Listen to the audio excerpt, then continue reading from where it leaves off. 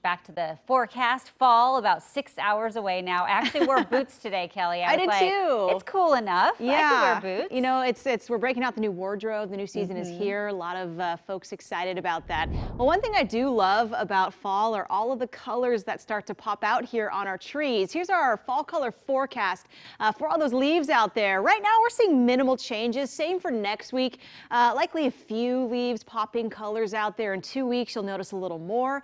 Uh, by three weeks, that's about the first two weeks in October here. We're nearing the peak and usually peak is sometime around the middle parts of October. Then November, we lose all the leaves. So get excited for some of these colors. Here's an example of a tree that I spotted a couple years ago now in 2019, but this uh, photo is on my phone and just wanted to share this lovely tree that I stopped and parked to snap a photo of. The ombre of colors here from reds to yellow and green. So beautiful. So we're nearly at this point. In just a couple of weeks, we get to see some of this. So uh, get excited for that. It's a very nice afternoon so far. Cloudy skies outside. That's your view out to Stoller Winery. You can see a few breaks in those clouds around uh, out there in the back there. But temperatures are mostly in the upper 60s. Still a pleasant day to dine outside, maybe at a food cart or on a patio. We'll start to break out some of these uh, pockets of blue sky here by 2, 3 p.m. today with a mostly cloudy to partly sunny finish to our day with highs right around the mid 70s. Also want to share a peek out to the mountains. It is a bit breezy up there as you can see those trees shaking in the winds, but blue skies out. A lovely shot there of the summit.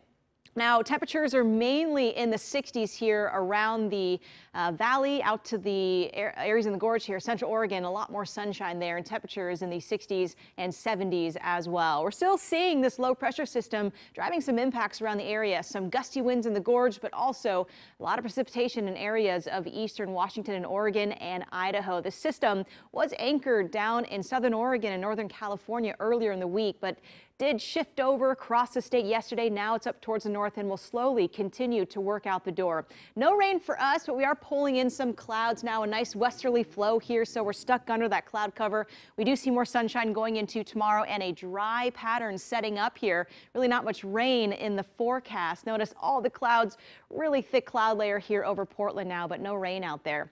So today for the coast, expect to see a mainly cloudy day. We'll also get a few sun breaks out there. Temperatures spanning the 60s. Uh, for most with light winds in Portland today right around 74 degrees. We're in the mid 70s here with clouds decreasing into the afternoon. For eastern and central Oregon back in the 70s as well, turning sunny out there. Already getting a lot of sunshine now and out towards Hood River and the Dalles. A little breezy today with gusts up to 20 miles per hour and temperatures back in the 70s. Now that low system I just pointed out starts to shift out the door and we will change up our weather pattern back to a hotter one. So we're almost bouncing back into summertime here as temperatures climb towards the 80s this weekend. There's that big ridge of high pressure. We've seen this pattern so many times so far uh, during summertime. So we're back under this ridge here this weekend and that means a stretch of days likely in the 80s. Not looking like we'll hit record high territory, but still warm. Uh, here's your seven day forecast and you can see those temperatures by Sunday climbing towards the 80s. Monday, 87 degrees, likely our hottest day of the week. But notice not much rain either.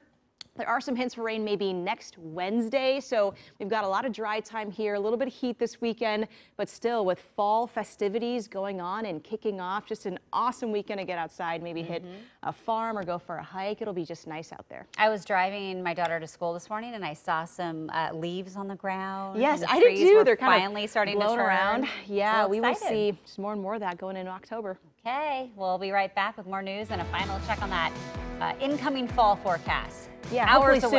Yes. yeah, at 6 tonight.